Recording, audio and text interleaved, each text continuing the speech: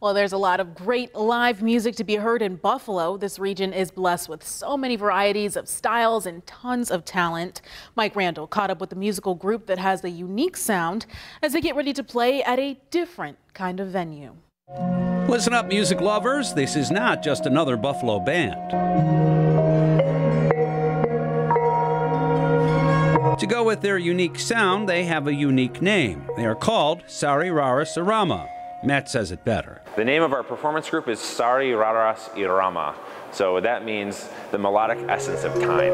Matt Dunning put the band together in 2015 when he came back from a two-year stint in Indonesia. And when I was there, I acquired a bunch of instruments from my late uh, teacher. He was like my guru there.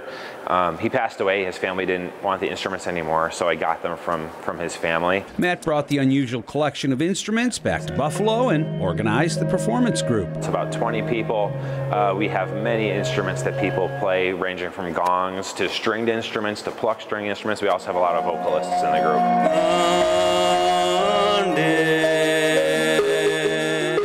A few members of the group, with just a small portion of their instruments, gave us a sneak preview of their upcoming gig at the Buffalo Museum of Science. One reason they sound so unique is because these instruments are old. I mean, really old, like ancient. Matt says that instruments like this date back thousands of years. I would say, yeah, it's one of the most unique instruments uh, from Java. It's called the bonang. This is the perfect place for this one-of-a-kind performance, according to the museum's Gabrielle Graham.